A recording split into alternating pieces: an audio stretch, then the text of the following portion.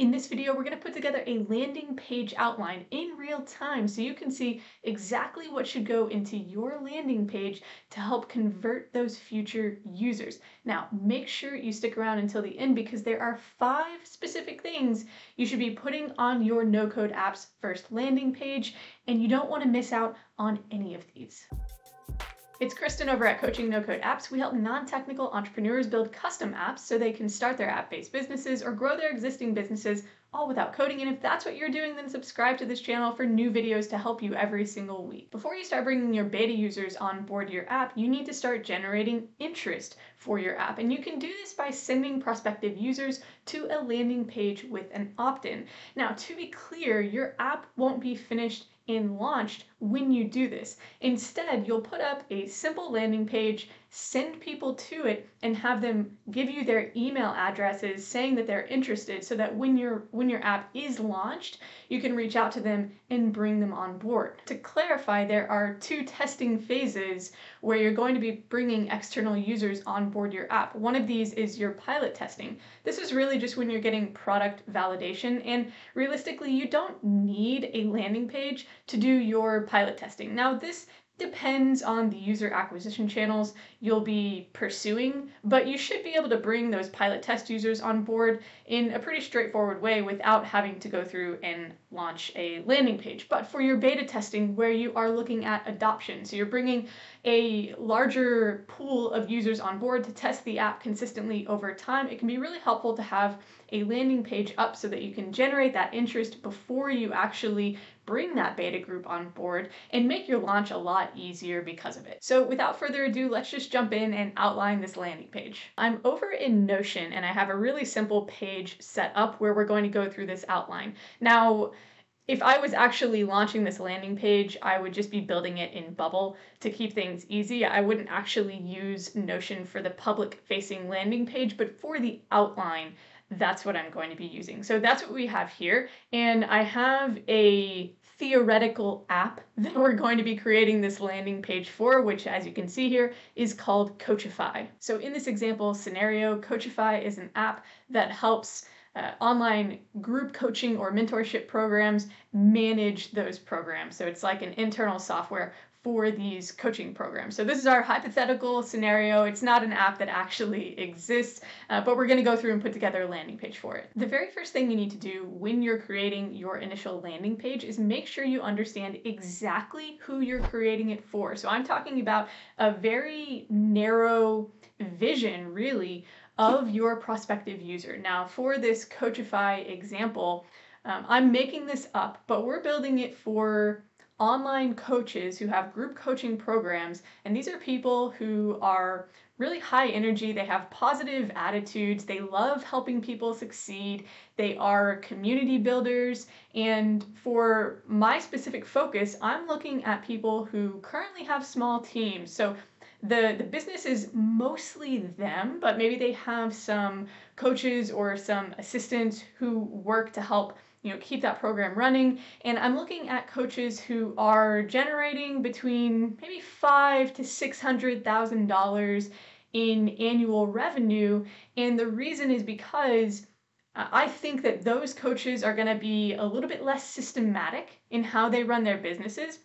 And in order to get to that seven figure revenue mark that they're probably aiming for, they're going to need to bring in systems to better run their business so that they can create repeatable results for their clients and really just free up a lot of their time and a lot of their team's time as well. Keeping that in mind, there are five specific things that I mentioned early on that you need to include in your landing page. So we're going to go ahead and type those out here. The first thing you need is a header. The second thing you need is a subheader. The third is Actually, let me take that out there. The third is a CTA or a call to action, something that prompts the user to do the thing you want them to do. The fourth thing is a benefits list. And the fifth thing is another CTA, another call to action. Now, notice that we didn't talk about a, a, contact page or an about page or any fancy graphics, images, videos, or anything like that.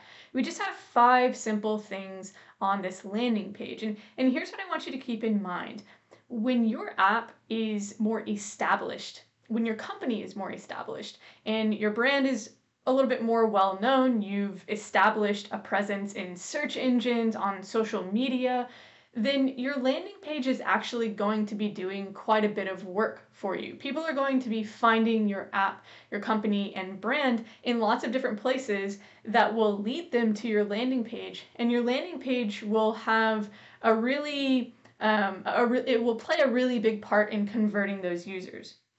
But right now, we're looking at creating a landing page to convert prospective users into becoming committed beta users. Now, this is at a point where your app is not going to be well known. It's it's not even launched yet. Your company, your brand is not well known. And so chances are nobody is going to just stumble across your landing page randomly. Right? That's just not going to happen. That's just the way it works. And that's okay because in these early stages, you are going to be doing most of the work when it comes to converting the users. So later on, your landing page will be doing quite a bit of work. Early on, you will be doing quite a bit of work. So your landing page is really just the thing that is going to collect those email addresses so you can have that list of interested, committed users. Now, let that help you keep your landing page simple no one's going to stumble across it. So when you go out and make posts on social media or send emails or have conversations with people, whatever those early acquisition channels are that you're using, those posts or those conversations are going to be doing most of the converting. The landing page is just there to carry that work through and get the email address so you can, again, have that list of interested users. So keep this landing page simple. Okay, let's go back through this list and start outlining the landing page. So we're going to start with our header and our subheader. So there's a format here that I like to follow to keep it really simple. With your header, you want to identify or help identify who the app is for and what it helps them do. And with the subheader, you want to help them understand what the app is going to help them remove or eliminate. What pain point or frustration is it going to strip out of their lives? So remember, we're talking about these high energy, really positive coaches with these programs who who love helping people see positive results through their help. And so what we're going to say for the header is help your group coaching clients get rock star results. Okay, so this is our header here. Let me just turn that actually into a header. Okay, so we have helped filter who it's for by saying group coaching clients. So obviously this is for someone who has group coaching clients, right? And then get rock star results. This is going to resonate with someone who has that positive energy and it's showing them what the app helps them do. It helps their clients get results, or it helps them help their clients get results. So then we go down to the subheader and we talk about what it helps them eliminate in terms of pain points they're experiencing. For this example, we're going to say, without spending hours each day tracking and managing them. Okay, so let's just turn this into our subheader here. Okay. So help help your group coaching clients get rockstar results without spending hours each day tracking and managing them. Who it's for, what it helps them do, and what it helps them eliminate or avoid.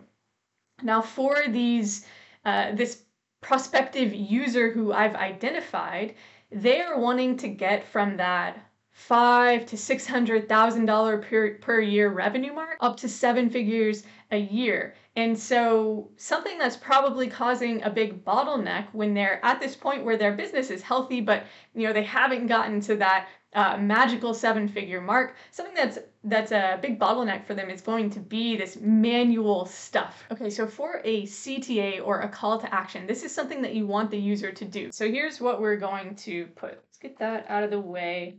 We're going to say get exclusive early access to Coachify and finally systematize your client tracking, management, and communication.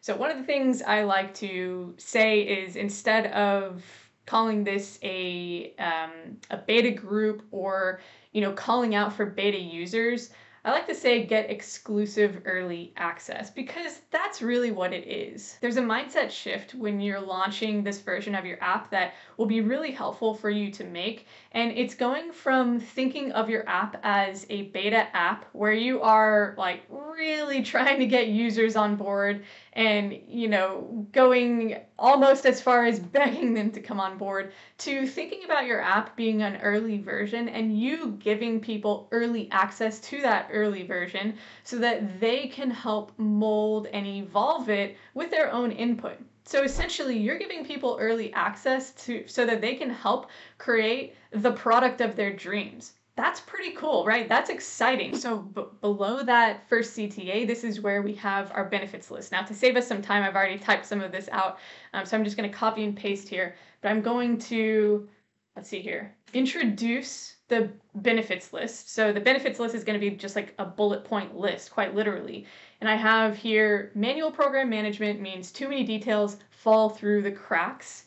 Get your uh, get your client tracking out of your head and off of your spreadsheet so that everyone in your program can get the results that you're after. Now, notice here we are really talking about benefits and removal of different pain points. We're not talking about features yet at all. So the problem that this prospective user is currently experiencing is that when they're manually managing their program, like keeping things in their head or tracking things on spreadsheets, which can have a little bit of automation but is mostly manual, things fall through the cracks. When things fall through the cracks, um, you know, certain things get forgotten when it comes to maybe client interactions or things that you're expecting of a client or or something that they should be creating or doing, right? And when things fall through the cracks, they don't get results. And so this really speaks to the benefits and the, the problems that will be avoided by the use of this software, but without going into features yet. All right, so now let's get the actual bullet point list over here. And again, I'm just gonna copy and paste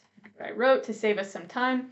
So I have here connect Coachify to your LMS to track video completion and avoid clients falling behind schedule. Now, before we go through the rest of the list, I want to point this out here. We're telling the, the person what we're going to help them do and then what we're going to help them avoid. And these two things should be related to each other, of course. So a feature is going to help the, the user do X so that they don't have to do X, right? So, what it's helping them do so that they can avoid this other thing they're currently doing or experiencing. We're saying that you can connect Coachify to your LMS, your learning management system, so maybe where you host video content, so you can track video completion and avoid clients falling behind schedule. And then we have get automated reminders when milestones are due, so you don't realize someone's behind when it's already too late right? So if you're taking someone through a program, you don't want to see that they're falling behind after they've already fallen behind. You want to see that it could happen before it actually happens so that you can prevent it and help them get those results, right? And then we have track client progress by completion and engagement to eliminate setbacks that are hard to see early on. Similar sort of thing, right?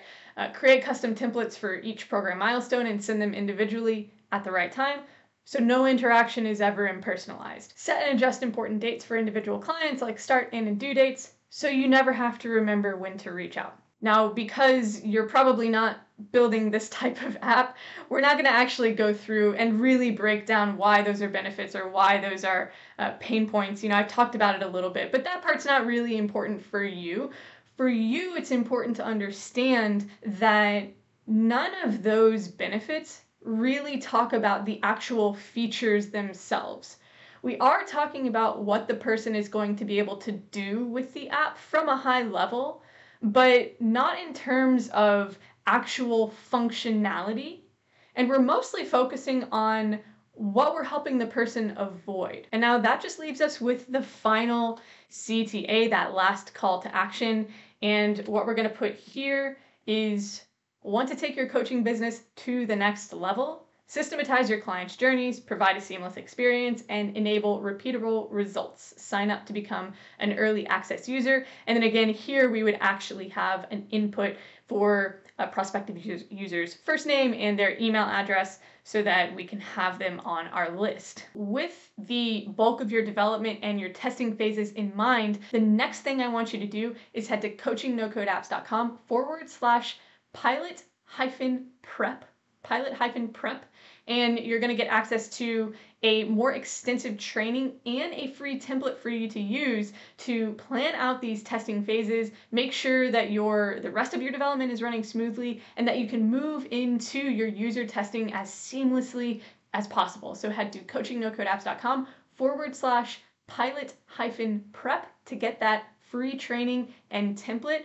We hope to see you there. And hey, I hope this video was helpful for you. If it was, give it a like down below and we'll see you in the next one.